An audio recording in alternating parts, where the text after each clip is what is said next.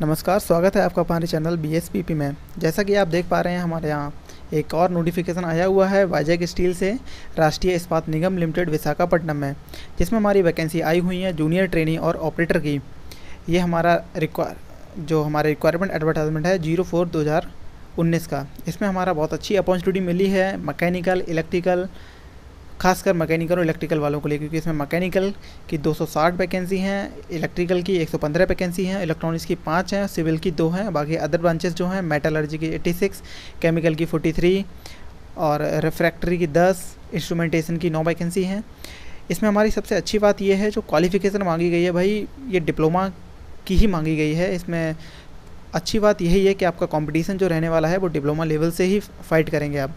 इसमें higher qualification को मना कर दिया है साफ़ साफ़ कि हायर क्वालिफिकेशन एप्लीकेबल नहीं है। जैसे हमारा जो degree in B E B ये लोग इसे फॉर्म को नहीं डाल सकते हैं। इसमें हमारा जैसे कि मांगे गया मैकेनिकल के लिए diploma in mechanical engineering, electrical के लिए diploma in electrical engineering, electronics के लिए डिप्लोमा इन इलेक्ट्रॉनिक्स, केमिकल के लिए diploma in chemical engineering, instrumentation वालों के लिए भी डिप्लोमा इन इंस्ट्रूमेंटेशन इंजीनियरिंग या फिर diploma in electronics and instrumentation engineering. Civil वालों के लिए डिप्लोमा इन सिविल। इसके बाद जो हमारा ट्रेनिंग, यानी कि जो हमारे ऑपरेटर रहने वाले हैं, आईटीआई वाले, उनके लिए टेंथ और आईटीआई का सर्टिफिकेट होना चाहिए।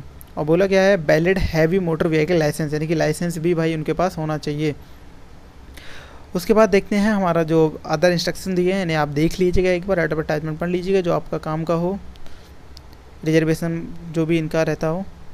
उसके बाद हमारा जो इन्होंने बोला गया, भाई थोड़ा एक प्रॉब्लम है, इसमें परमानेंट आपको डायरेक्ट जॉब नहीं मिलेगी, इसमें पहले आपको ट्रेनिंग पीरियड के लिए भेजा जाएगा।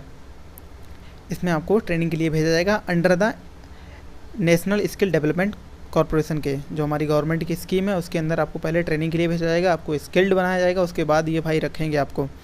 ड्यूरिंग द ट्रेनिंग पीरियड ये क्या करेंगे आपको?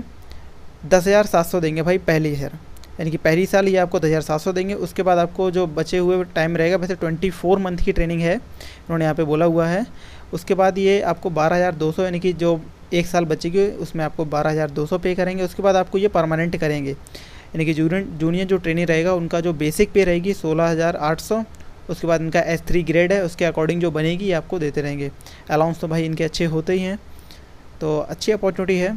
और जो इनका सिलेक्शन प्रोसीडर रहेगा, वही एम सी क्यूज़ क्वेश्चन और मेडिकल डॉक्यूमेंट वेरिफिकेशन इसमें जो हमारा रहने वाला है, पचहत्तर क्वेश्चन तो आएँगे भाई इसके आपके नॉन टैक्स से, जिसमें आपका रहेगा arithmetic reasoning DI general awareness GK और इंग्लिश रहने वाली है। और इसमें जो हमारे हाँ पचहत्तर क्वेश्चन जो रहने वाले हैं, वो आपके टेक्निकल सब्जेक्ट जो भी आप स्ट्रीम्स हैं इलेक्ट्रिकल मैकेनिकल सिविल वो आपके टेक्निकल से आने वाले हैं। पचहत्तर क्वेश्चन यानी कि टोटल डेढ़ सौ नंबर का पेपर होगा, दो घंटे का आपका टाइम होगा इसमें।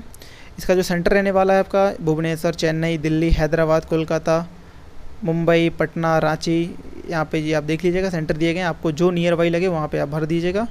और अच्छे से एग्ज़ाम दीजिए, क्योंकि अच्छी अपॉर्चुनिटी है बाईजंग ने काफ़ी ज़्यादा वैकेंसी है। हाँ बस इसका दो साल का ट्रेनिंग पीरियड है, वो आपको पहले कंप्लीट करना पड़ेगा, लेकिन उसके बाद तो आप दो साल बाद परमानेंट हो जाएँगे। दो साल तक तो ये आपको खाना खर्चा देते ही रहेंगे, उसके बाद ये सारी जनरल इंस्ट्रक्शंस हैं फॉर्म भरने के लिए वो आप देख लीजिएगा एक बार। इसके बाद इसका डेट देख लेते हैं डेट जो हमारी ऑनलाइन भरने की है, वो आपको एक अगस्त से ऑनलाइन जो लिंक है, वो एक्टिवेट हो जाएगी। लास्ट डेट रहेगी इक्कीस अगस्त 2019 और पेमेंट आप कर सकते हैं बाईस अगस्त 2019 तक। यानी कि बाईस, इक्कीस अगस्त तक आप फाइनल कर दीजिएगा, एक तारीख से भरना इसे स्टार्ट हो जाएगा। तो और कोई अतर आपको अगर क्वेरी हो प्लीज़ कमेंट करें और बाकी अच्छी वैकेंसी है, भरिए और अच्छे से टेस्ट दीजिए। ज़्यादा हाई लेवल का पेपर नहीं आता है, अभी जैसे लास्ट टाइम इसका एग्ज़ाम हुआ था बेसिक ही पेपर रहता है, मेहनत कीजिए, होगा, ज़रूर होगा। एंड कोई भी क्यूरी रहे, आप बिल्कुल कमेंट कीजिएगा। And thank you for watching this video